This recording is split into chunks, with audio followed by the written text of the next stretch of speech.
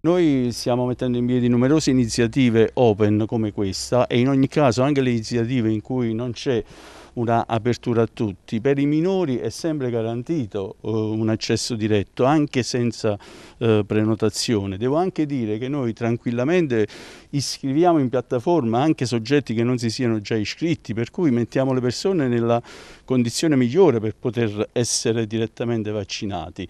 Quindi, ripeto, i minori gli ultraottantenni possono, eh, quei pochi che sono rimasti, possono accedere direttamente ai nostri centri vaccinali anche senza prenotazione. Noi provvederemo a vaccinarli. Oggi la giornata di Open Day prevedeva 250 dosi di vaccino, da questa mattina purtroppo non c'è stato un afflusso, o quantomeno non c'è stato l'afflusso che si sperava di ottenere. Ritiene che eh, questo sia da leggere perché le persone veramente non vogliono vaccinarsi o perché la quota che è rimasta è davvero minima? Lei parlava di un 70% di vaccinati, quindi bisogna intercettare e eh, capire chi ha la volontà di volerlo fare.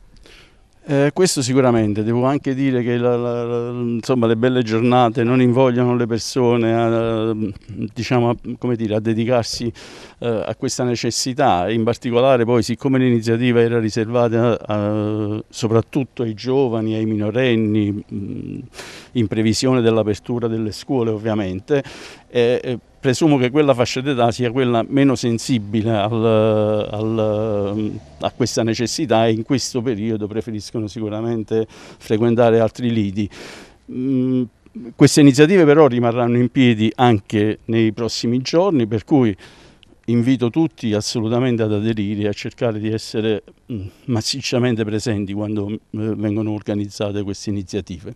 Dottore, molti genitori dicono no al vaccino ai figli, soprattutto se siamo nella fascia degli over 12 un po' a salire su, uh, molti hanno resistenze, parlano più di effetti collaterali che di benefici. Lei che cosa sente di dire?